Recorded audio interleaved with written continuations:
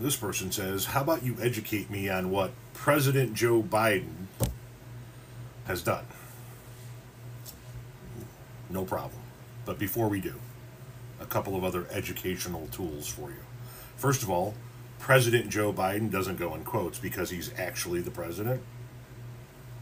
So it's not a quote thing, like it's not real. Also, Joe has an E on the end of it, just in case you were curious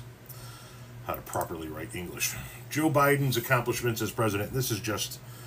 some of the accomplishments so far. $1.9 trillion rescue plan, $1 billion for Head Start, $15 billion for low income child care grants, $24 billion for child care stabilization fund, $21.5 billion in rental assistance, 46.5 billion in housing assistance, 10 billion in homeowner relief, 5 billion in Section 8 vouchers, 5 billion in uh, to fight homelessness, 5 billion for utilities uh, assistance, extended Obamacare open enrollment from 45 days to 76 days, permanently removed restrictions on access to abortion pills by mail, signed the Accelerating Access to Critical Therapy, Therapies for ALS Act,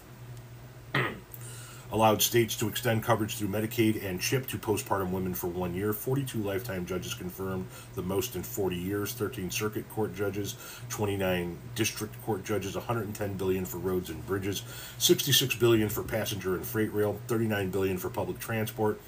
uh, transit, I should say, 65 billion for grid expansion. 55 billion for water and wastewater including the removal of lead pipes 65 billion for affordable broadband, 25 billion for airports, 17 billion for ports and waterways, rejoin the Paris Climate Accords, revoke the Keystone XL permit, 1.1 billion for Everglades restoration, 50 billion for FEMA funding, 47.5 billion for COVID testing, 7.6 billion for state and local health departments, 8.5 billion for CDC for vaccines, 7.6 billion to community health centers, 17 billion to the Veterans Administration, 3 billion to address mental health and substance abuse, over 500 million vaccine shots administered in one year, established 90,000 free vaccine sites, 1 billion in home tests sent free via mail, rejoined the WHO, ended the ban on trans soldiers and military, prohibited discrimination against LGBTQ plus families in housing under fair in housing under the Fair Housing Act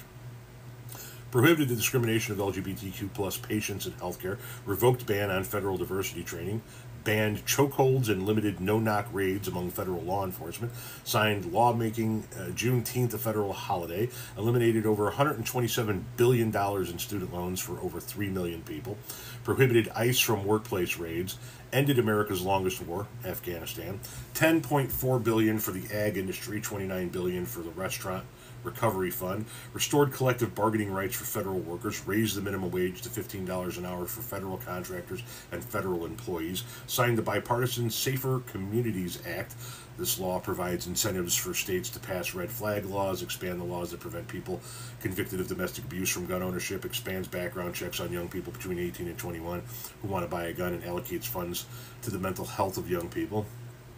cut child poverty in half through the American Rescue Plan, capped prescription drug prices at $2,000 a year for seniors on Medicaid through the Inflation and Reduction Act, gave Medicare the power to negotiate prescription drug prices through the Inflation and Reduction Act while also reducing government health spending.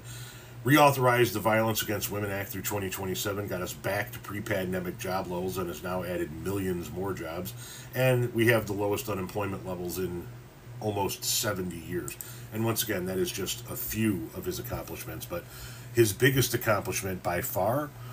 is defeating a fascist to make sure we still have a country.